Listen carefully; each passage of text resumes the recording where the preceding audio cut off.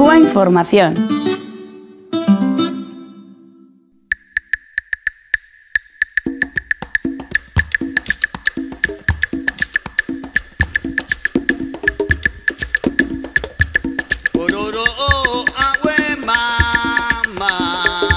Rafael Sánchez es el secretario de organización del Partido Comunista de Andalucía en la provincia de Huelva y está asistiendo a este séptimo encuentro andaluz de solidaridad con Cuba que se celebra aquí precisamente en la provincia de Huelva. Y bueno, pues le damos la bienvenida. Muchas gracias por, recibirnos. Eh, bueno, en primer lugar quisiera agradeceros que nos, que nos hagáis esta, esta entrevista.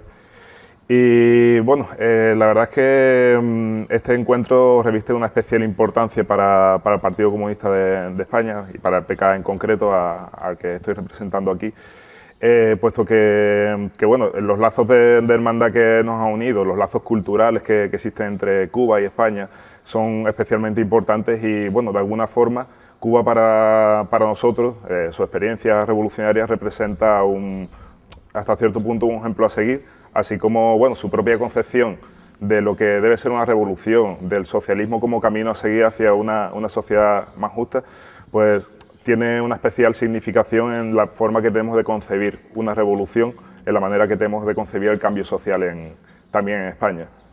Es quizá podría decir que uno de los, al menos para el Partido Comunista de España, representa uno de los grandes hitos de la historia de las revoluciones.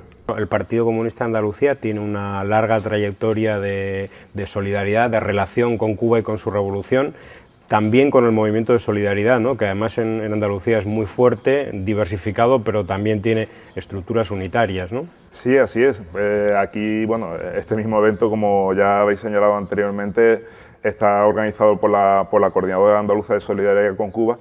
Nosotros y nosotras de alguna forma participamos activamente eh, pero de alguna forma también, también nos sentimos especialmente implicados un poco por lo que, por lo que explicaba antes. Eh, y ya no solo la implicación a nivel, a nivel de, de partido, sino también a la hora de participar en todas esas organizaciones, esas plataformas unitarias que existen tanto en las provincias como, como a nivel andaluz.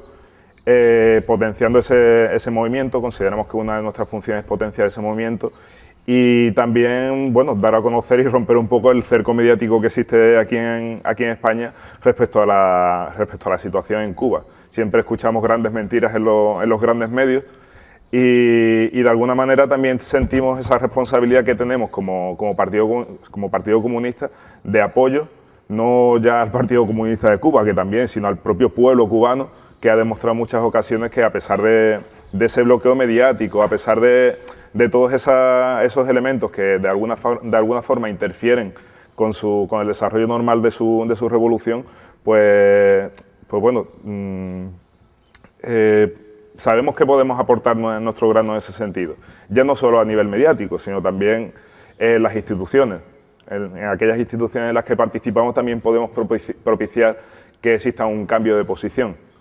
Y creo que eso es especialmente, especialmente importante dado dada la importancia que se le da a las instituciones aquí en, aquí en España. Al no existir tampoco, claro, cauces de participación ciudadana directa, más allá del mundo asociativo o, de los partidos políticos. ¿no? quizás son las aportaciones más importantes que, podemos hacer. Y bueno, por supuesto, campañas, eh, también, también a través del ICAP, Cuba ha colaborado mucho con nosotros y nosotras. en Sevilla, por ejemplo, se puso en marcha el programa Yo sí puedo. Eh, la cuestión, evidentemente, de, la formación de, cuadros militantes del propio partido nos ha aportado muchísimo, de muchísima experiencia. Entonces, bueno, ya no solo lo que nosotros y nosotras podemos aportar, sino también lo que como, como partido la experiencia que podemos extrapolar aquí a España y lo que nos aporta la revolución cubana a nosotros y a nosotras aquí en España. Hay un nuevo escenario, un nuevo marco, digamos, geopolítico. Cuba y Estados Unidos han reanudado las relaciones diplomáticas desde hace, bueno, pues año y poco y eh, en diferentes mm, bueno, escenarios políticos, incluso de la amistad con Cuba y de la solidaridad, hay personas que incluso pueden tener ciertas dudas. ¿Eso también tú lo estás viendo en la militancia comunista?